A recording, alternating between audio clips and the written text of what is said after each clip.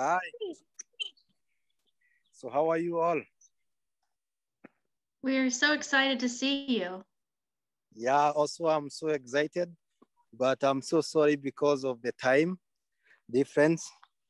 So yeah, but we make it. So we are here. So how are you doing on your side? Well, we are all stoked because we thought we were just going to get to talk to you. And then when Leslie said you were bringing us out to meet the rhinos, you should have seen the excitement ripple through all our faces. You're like literally making our year. So thank you. Okay, thank you very much. So the girls, they are not far, they are just behind me. Yeah, and so I'm gonna be able to be talking more about them and how it became to be just only two of them. So uh, I hope each and everyone online so I can be able maybe to start. Yes, go ahead. We're, we're all here, so we're we're ready with for anything you want to share with us. And then we have Oh, okay, yeah. So actually, my name is Joseph, and I work here in Ol Pejeta. Sorry, I think the network is not nice on my side. Can you hear me over there? Yep, we can hear you. We see you and hear you. Okay. Sorry, today I'm using my phone because uh, it was a little bit difficult for me to fix my camera and all the things because I'm still a bushman. So, but the good thing I'm here. So I'm gonna be able to start right away.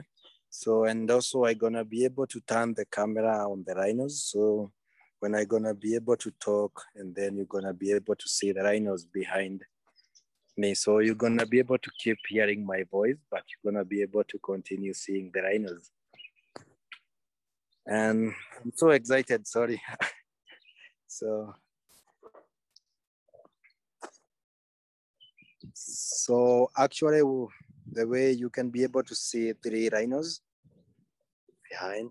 So the two close together on the right, so those are the two northern white rhino and the one which one is stepping a little bit uh, side that is the southern white rhino so the no, the two northern white rhino actually there were four of them when they were being brought over here but the two of them they have passed away the two male so one of them passed away in 2014 and the other male died in 2018 which one was called sudan and he was the only last male of his own kind. And for now, we are only remaining with the two female, which one is Fatu and Najin. And Fatu is this one you can be able to see over here. And Fatu is the young one, and Najin is that one, which one you can be able to see it over there. And Najin is the mother.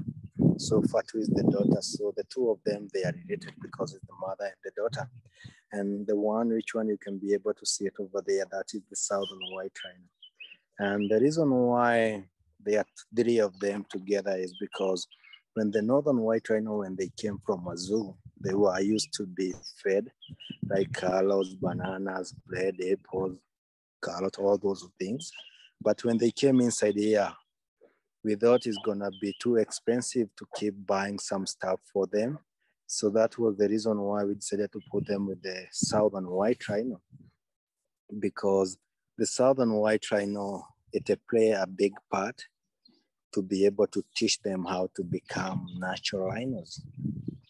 Because the two of them, like which one you can be able to see over here, those what they were been born in a zoo.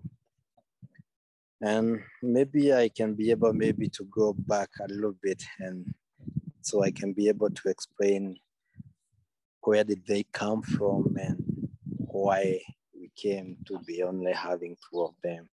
So I'm gonna be able to go back in 1975, where early 1960, 1960s, where we were having the northern white rhino, more than 2,000 left in the whole world. And Pacific, the northern white rhino, they were originally from Africa, places as Congo, Sudan, Chad, in those Pacific countries of Central Africa. And because of the souvenirs war and guerrillas fighters, so these animals, they end up to be killed a lot and a lot and a lot because the rebels, they were killing them because of their horns. And wherever they get their horns, they were keeping selling them.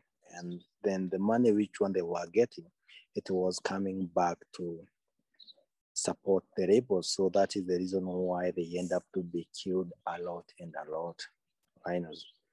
And you know, in 1975 is where there was a, a few peoples from the zoo, from the Czech Republic, which one they came with a solution of trying to take some few rhinos all the way back to their zoos, to their Czech.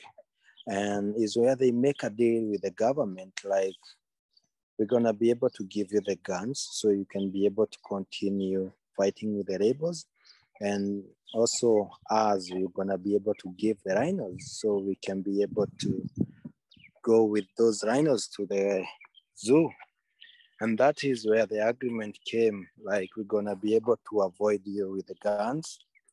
And also you're gonna be able to give us some rhinos. And that is how Sudan was being captured in South Sudan and taken all the way to the zoo. That when he was only two years old. And when they went in the zoo, because the climate was not that the same as Africa, in the zoo, the climate was so different. So the rhinos, they did not be able to breed a lot actually, because it was not their normal Sorry. Sorry.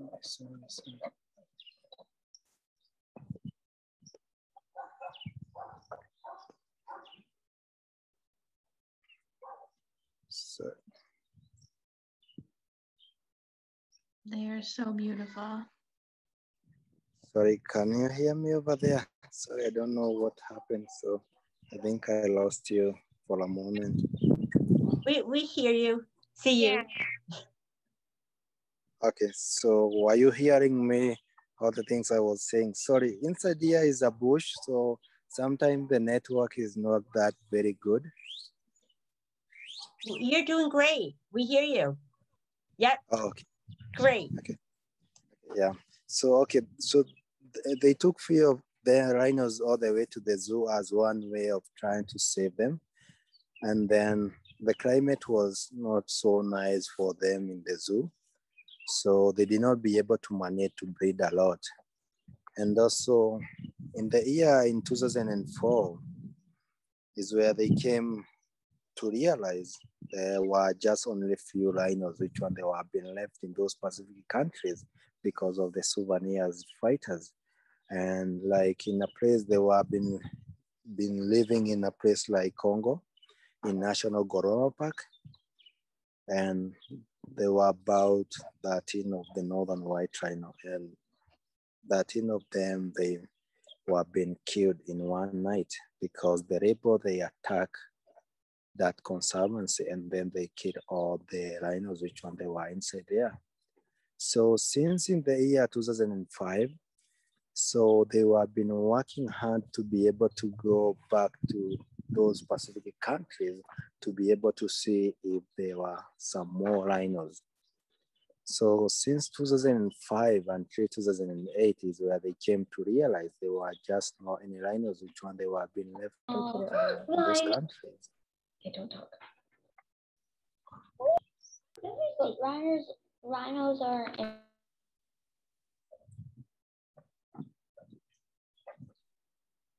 Go and ahead, in the year 2000 okay and in the year 2008 is where they came to announce the northern white rhino there were just only eight of them left in the whole world so in 2009 they sit down and then they say what about maybe we can be able to take these rhinos back to their own climate because in the year 2008 is where they came to say there were just only eight of them left in the whole world.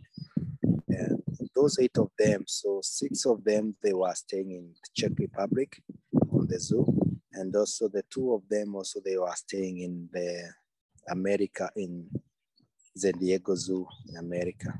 So they decided to brought three of them back here in Africa in 2009, 20th of December.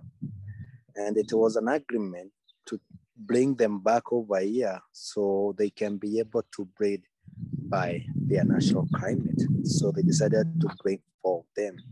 And when they were bringing four of them, you know, each and every country wanted these rhinos to be on their own countries. But because Kenya is been known as to be taking care of the rhinos and breeding very well, and you know, like here in Kenya, all animals belong to the government. But if you go in a place like in South Africa, all animals belong in people individual.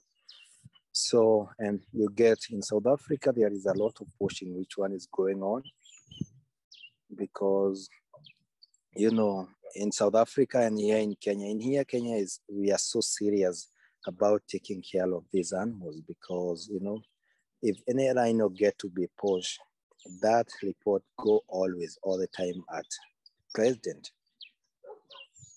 So he always like to know what happened and why people they were they were not doing their work. So in this idea, we are a little bit ahead. And that is the reason why you get the animals here, they are breeding very well. Yeah.